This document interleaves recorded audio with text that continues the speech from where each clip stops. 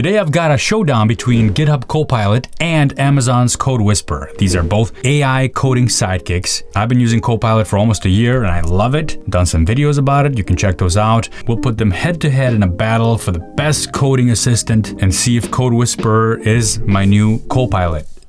Uh, that's not confusing at all. Forget I said that. GitHub's Copilot has a pretty huge head start, at least by today's standards in AI advancements. It supports a pretty wide range of IDEs and languages and costs 10 bucks a month for individuals but you can get it for free if you are under an organization that does open source projects. And Code Whisper is brand new and it has some ground to make up to catch up. It also works with many IDEs, but not as many as Copilot, at least according to the docs. But it does have some extra bonuses for you if you're in the AWS ecosystem, like support for AWS Cloud 9 and Lambda. And it has a unique security scan feature that I demoed in my initial impression video, which I'll link down below if you want to check that out. Whisper has two pricing tiers. One we're all gonna love, that's the free tier, at least for now.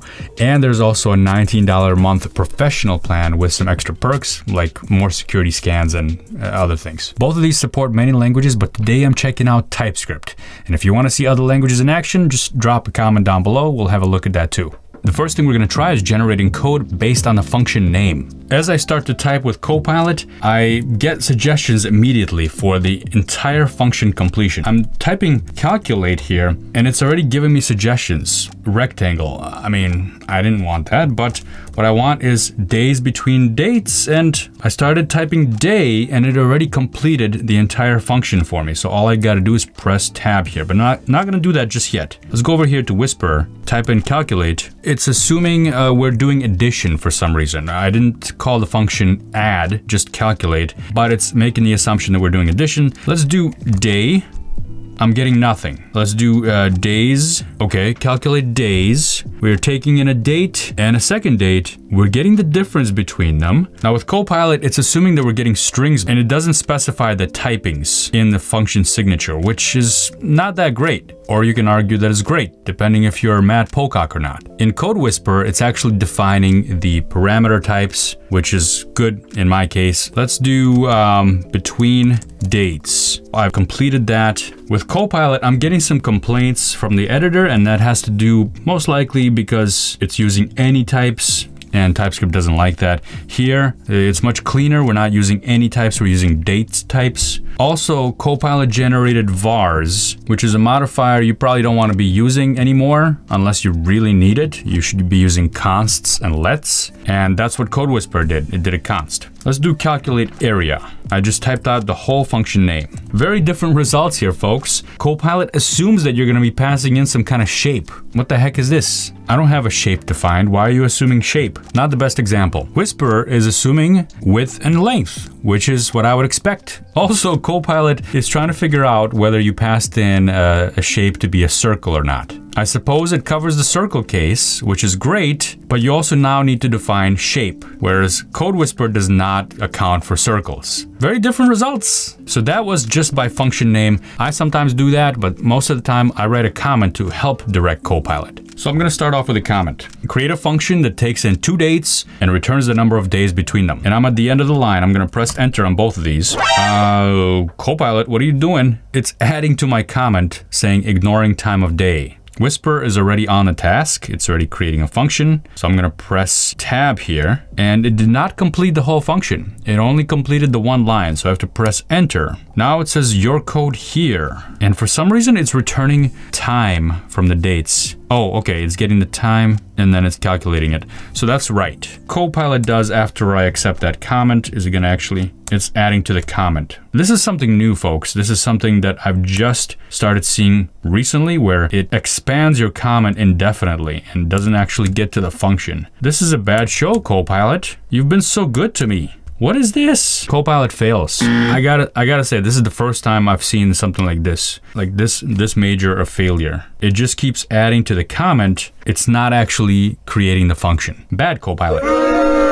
I'm a little disappointed. All right, let's do something realistic. Uh, right now, AI is hot, OpenAI, API. I'm gonna ask these two AIs to go to the other AI and ask it something and then return me a result. Copilot, talk to Code Whisperer. No, I'm just kidding. Uh, we're gonna talk to the OpenAI API. Here we go. Function to run a query against the OpenAI API using the GPT 3.5 turbo model and return a response. Come on, Copilot. It's giving me the usage. Why is it doing this?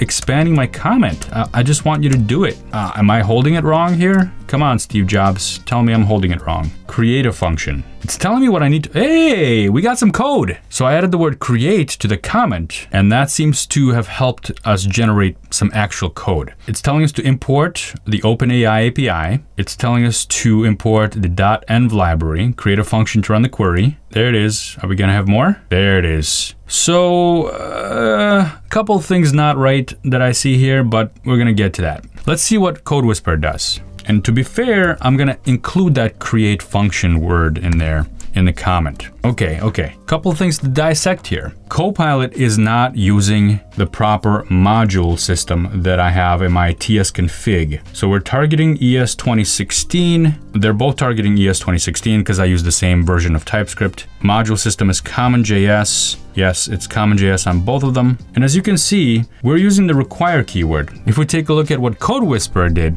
it did not include any imports or requires at all. It left it pretty much up to you to know what OpenAI is.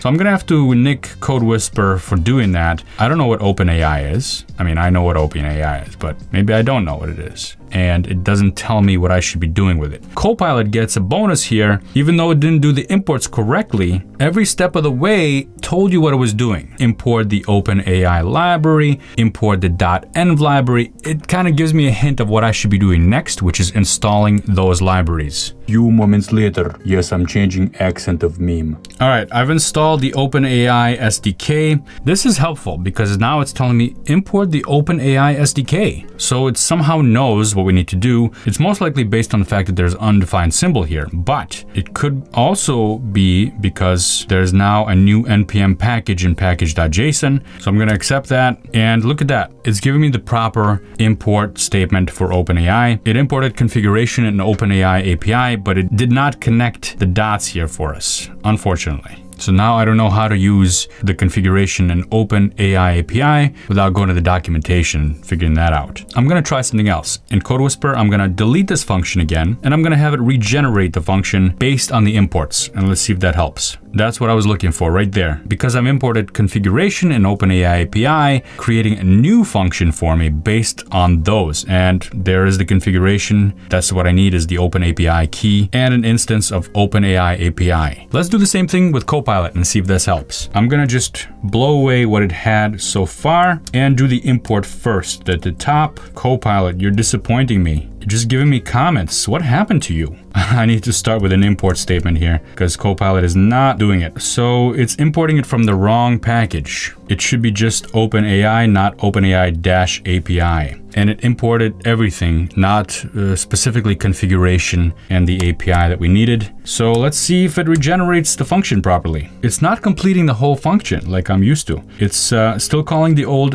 OpenAI complete instead of the create completion. And I guess that's that. So Copilot fails here. It doesn't even call the right functions from the OpenAI API. Are you using Copilot right now? Let me know in the comments and let me know if you've already tried Code Whisperer because from what I'm seeing, it's doing a better job so far at least in the tasks that I've given it. There might be other tasks where Copilot is better. It's got more IDEs that it supports. It supports more languages. So there are some benefits to using Copilot.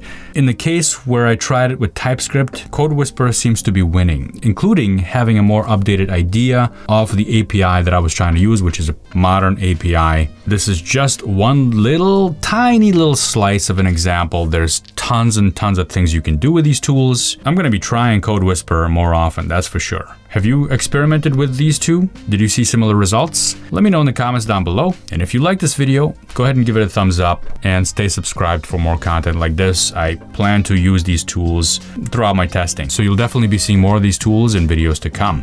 Thanks for watching, folks. I'll be back.